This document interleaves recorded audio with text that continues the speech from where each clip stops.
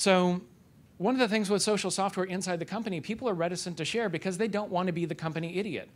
In 2005, when I first went out on my own, was working with, there was a startup in Silicon Valley that said, hey, we see that you're going to be coming. Can you swing by and talk to us for about two or three hours?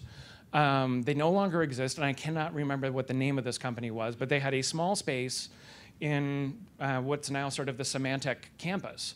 Um, and I knew that because when I went to go do a project with Symantec, I'm like, this looks really familiar. I've been in that cafeteria. And in that cafeteria was this little project of walking up to people randomly that were going to get coffee and saying, hey, do you guys know you have a wiki? Do you use it? Have you found it? Have you edited it? And everybody's, oh, yeah, yeah, yeah, yeah. Edited it? Add something new? No, I don't want to be the company idiot. And I'm like, I asked six people. Four of them said approximately the same thing, if not exactly, I don't want to be the company idiot. My job is on the line.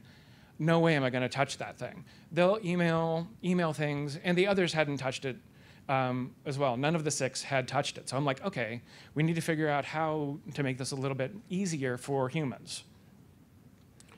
So the way that we do that is taking a step back from the digital space back to the human space.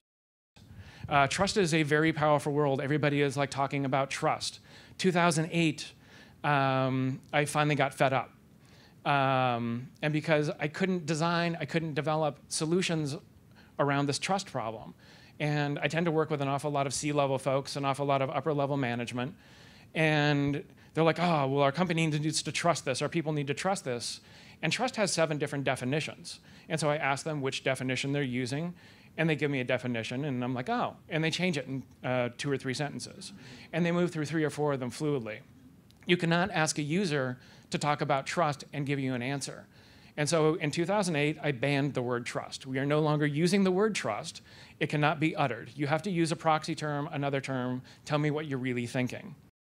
And one of the things that we also run into is sort of false knowing people, um, which I frame as the paradox of familiarity. And we're familiar with people uh, through working together. And it's like, oh, you know, we sort of understand who people are and we have a social comfort with these people because we have worked with them. There's also familiarity through reputation. I haven't met this person, but I've heard great things about them. Um, I've read some of the things that they posted. Um, and so there's this understanding of who somebody is. There's also hallway familiarity. That person that you run across at 10:15 every morning, you're going to get coffee, they're coming back with their coffee. Hey, how's it going? No idea what their name is, and all of a sudden after 2 years of 10, 15 in the morning, of 200 days a year, you're sitting across the table. Hey, we're working on a project together. You're the coffee guy. and it's just like, oh, you're really familiar. Hey, how the, uh, hmm, how's your coffee? and that's all you really have. Um, and then there's online familiarity, where it's like, oh yeah, I follow your Instagram account. And there's like these others that sometimes there's depth online, and then sometimes there's just not. But there's sort of this sort of familiarity which can, you know, sometimes give it a little bit of comfort, but it also drives a majority of the population really crazy because they don't really know who these people are. You know, am I going to share, you know, my plan for the next project or, you know, the things that I'm working on for, you know, to move my career ahead? What am I going to share with them? How am I going to do this? And so what we have, and one of the things I started working with and is that there's seven different intents that people have. We're trying to favorite and see what our favorites are over time. We're favoriting to share with others. Um, there's also favorite to show you approve of something and saying, hey, you know, this looks really good. I, you know, they, they are trying to sign off on and say, yeah, the, go ahead. Um, and also use as a bookmark to come back to, which has nothing to do with like or dislike. It's like, I don't have time for this. This looks interesting. I need to hold on to this, form an opinion, come back to it. Give kudos to the creator. Um, quite often people are like, hey, they'll, they'll favorite something, give a like, uh, because they're just saying, hey, good job. Uh, also, a hook to trigger other services with um, IFTTT, or if you use Twitter and Instapaper, Instapaper can go out and grab your Twitter faves and pull it into Instapaper for later reading. Pinboard will also go out and grab your uh, Twitter favorites and expand the full thing, archive it, fully text searchable, have it in there, makes it easy to come back to. So it's just a hook for other tools and uh, aggregation piece. Has nothing to do with like or sharing with others. And lastly, it can be an acknowledgement that you've seen something and just saying, yeah, I'm not going to respond anymore. This is end of conversation. And someone's like, did you see this? Did you see this? Did you see this? I faved it. You know, I, we're good. Um, and so just being able to have this understanding and so that we get out of misunderstanding, but there's no really good, easy way to do this.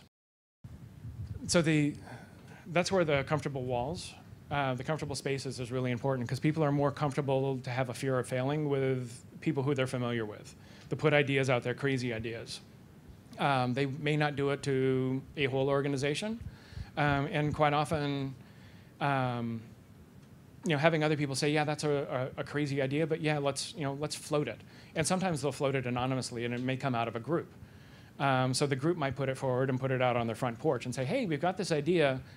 What do we think about this? Um, and then being able to hold on and track the person who actually put it out there um, so that they get credit. Um, and being able to get that right so that they get credit, but they, they're not seen as a failure and removed from the company. Um, and it's one of the, the big things is sort of uh, going through culture change and going through change management um, and getting the organization uh, ready. And one of the big questions I have in kickoff meetings is what happens when something goes wrong. Um, and there's an organization here in the DC area where it was really funny because um, they're like, oh, it's fine as long as it isn't, you're not saying something about the CEO. And the whole room goes, oh, yeah. And so there's been people who had been fired immediately for questioning, just saying, hey, is this really, maybe we should take this other tack. And it was something a CEO's um, mandated uh, way forward, and they were gone. Desk was cleared in an hour.